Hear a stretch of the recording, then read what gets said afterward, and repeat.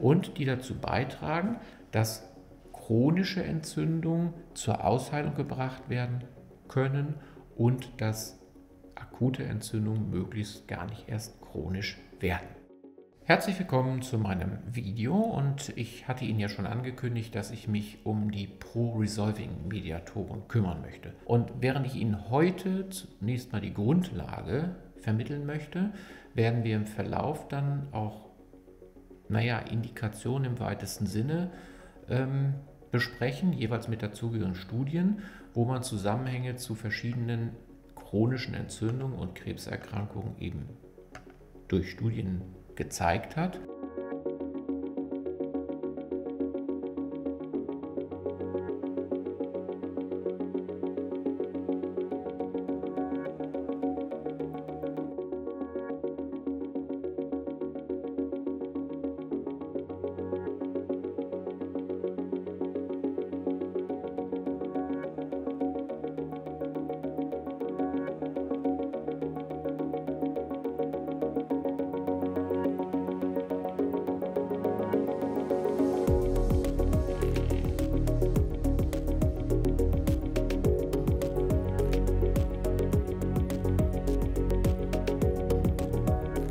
Omega-PUFA.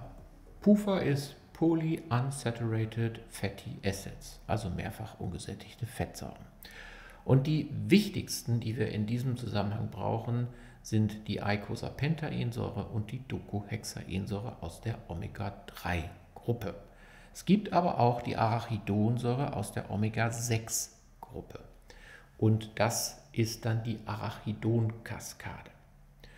Und wenn wir uns die EPA und DHH hier anschauen, dann gibt es welche, die mit Aspirin, was ja manche Menschen einnehmen, und ohne Aspirin aus dieser Ausgangssubstanz ein Zwischenprodukt machen. Hier 18 Hepe und bei dem DHA 17 HDHA.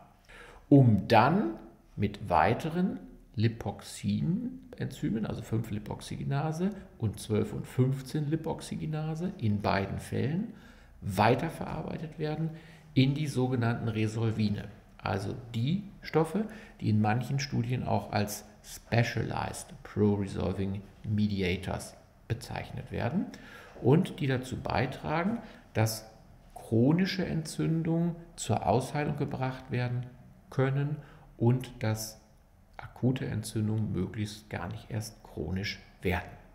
Und wie Sie schon erkennen, sind diese Stoffe, also diese antientzündlichen Stoffwechselprozesse nur dann möglich, wenn diese Omega-3-Fettsäuren auch da sind. Und wie Sie erkennen, ist hier nicht die Alpha-Linolensäure aus dem Leinöl dabei, sondern es ist ganz klar und eindeutig EPA und DHA. Das kommt aus dem Algenöl und wenn Sie es aus dem Fisch nehmen, kommt es auch aus dem Algenöl, denn der Fisch hat Fische oder Krill oder sowas gefressen, die auch vorher Algen gefressen haben, die im Grunde genommen diese EPA und DHA gebildet haben. Und wenn Sie Wildfleisch essen und die dann auch im Grunde genommen Moose und Farne essen, also was Algenähnliches, da findet man das auch und dann findet man in diesen Fleischsorten auch mehr von diesem EPA und DHA. Und hier unten im Bild sehen Sie, dass hier auch bestimmte G-Protein gekoppelte Rezeptoren drin sind.